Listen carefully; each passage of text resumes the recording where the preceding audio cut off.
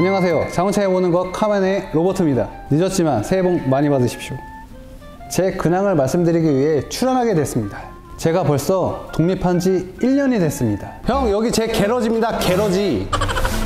많은 분들이 축복해 주셔서 정말 열심히 진심으로 일을 하고 있습니다. 저도 중간중간 영상을 보면서 댓글을 보지만 전 카멘 패밀리를 떠난 게 아닙니다. 바로 옆이에요. 일주일에 두세 번씩 형님들이랑 꼭 밥 먹습니다. 같이 일적인 부분도 많이 협업하고 있어요. 항상 달려와 주시는 형님들 감사합니다. 정말 오해 안 하셨으면 좋겠습니다. 전 카멘 패밀리를 배신한 것도 아니고 예전이나 지금이나 저는 카멘 패밀리입니다.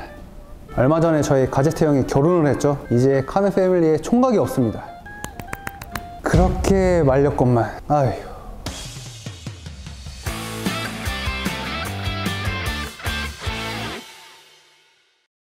두 번째 오해가 있는 것 같아서 말씀드리는데 여기는 자동차에 보는 것 카멘의 가맹점이 아닙니다. 가맹점이라는 것은 일정 부분의 가맹비를 주고 매월 비용을 또 내고 그게 가맹점입니다. 자동차의 모든 것은 절대 그런 게 아닙니다. 함께 열심히 하는 패밀리 같은 거예요. 저 말고도 울산에도 한 분 계시고요. 천안의 서북구 그리고 서울에도 있습니다. 다 저 같은 패밀리 샵입니다. 주로 30대에서 40대로 구성된 패밀리입니다. 저희 본점과 저 패밀리 샵 다 포함해서 기술력이 뛰어난 샵이 아닙니다. 저희는 자동차를 좋아하는 사람들끼리 뭉친 곳입니다.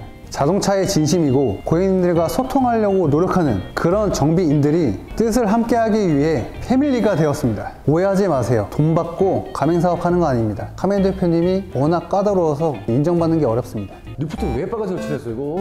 노랑이야? 왜 데려왔어요? 혼자 오라니까. 제가 사업을 처음 해봤지만 1년 해본 결과 정말 쉽지 않습니다. 진짜입니다. 직원을 뽑자니 너무 어렵고 저도 함께할 동료가 있었으면 좋겠지만 다들 아실 거예요. 자영업은 정말 어렵습니다. 모든 자영업자분들 힘내십시오. 그래도 조금은 다행입니다. 카멘 대표님 덕분에 많은 도움을 받고 있습니다. 정말로 열심히 하다 보니까 하나씩 하나씩 쌓여가는 것 같아요. 진짜.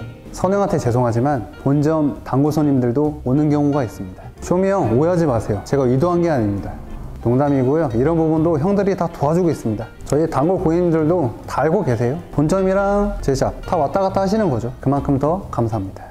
딱 하나 생각나는 게 제가 사업을 딱 1년 해봤지만 제 생일날 카톡에 알림이 뜨잖아요. 아침에 일어났는데 보통 제 생일을 카톡 그냥 가족들? 전 생일을 그렇게 생각 안 하는데 카톡이 한 29개가 와 있었어요. 생일 축하한다는 그 연락 메시지가 다 손님들인 거예요. 어, 되게 감동받았던 날입니다. 카멘 대표님 생일이 8월 5일이거든요. 근데 생일을 정말 생각 안 하시는 분이에요. 제가 1년 차였을 때 형들이랑 같이 생일 파티 하려고 사진도 있는데 핸드폰을 보고 계셨거든요. 진짜 생일 축하 메시지가 거짓말 안 하고 100개 이상 있었어요. 쿠폰도 쿠폰함이 넘쳤어. 5페이지까지 있었어. 그거 보고 솔직히 좀 저만의 다짐을 했습니다. 저런 사람이 되자.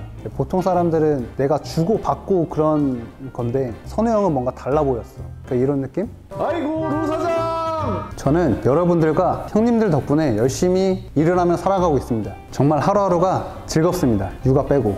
너무 힘들어요. 와. 항상 장사가 잘 되진 않죠. 저도 한가할 땐 한가하고 바쁠 땐 바쁘고. 근데 선우 형 말대로 즐겁게 일한다는 자체가 저한테 큰 행복인 것 같습니다. 그러고 보니까 수입도 점차점차 조금씩 올라가고 있습니다. 돈 생각 안 하고 즐겁게 열심히 일하려고요. 그게 제 24년 목표입니다. 24년에는 저도 정말 많이 출연할 겁니다. 선우 형 해주실 거죠? 저 잊지 마세요. 로버트입니다. 자, 이렇게 해서 제 근황을 마치겠습니다. 건강하십시오. 저에게 기술료는 좋아요와 구독입니다. 잠깐만. 가제트 형이 나 결혼식 때 축의금보다 내가 더 낸 것 같은데? 아 이거 실수한 건데 다시 달라고 해야 되나?